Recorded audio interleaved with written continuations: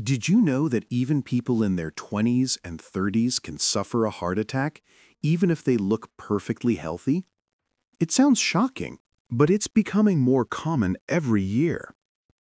Today, you're going to discover the hidden causes that put young adults at risk without them even realizing it. Heart attacks were once seen as a middle-age problem, but not anymore. Modern lifestyle, silent conditions, and daily habits are creating a dangerous scenario where young people are facing heart risks earlier than ever. 1. Hidden inflammation.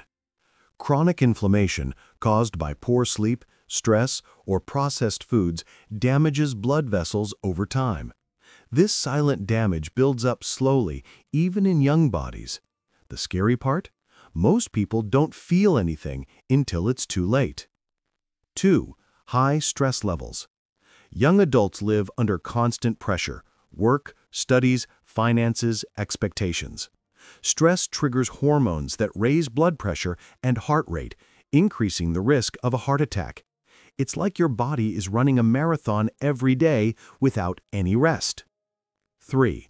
Undiagnosed conditions. High cholesterol, high blood pressure, and diabetes can appear early and remain completely unnoticed. Many young people don't get routine checkups, which means dangerous conditions go untreated for years. Simple tests could reveal everything, but most never do them. 4. Lifestyle overload. Smoking, alcohol, energy drinks, lack of sleep, long sitting hours, and fast food all of these accelerate heart damage. Even if someone looks fit, the inside of the body may tell a very different story. A healthy-looking outside doesn't always mean a healthy heart.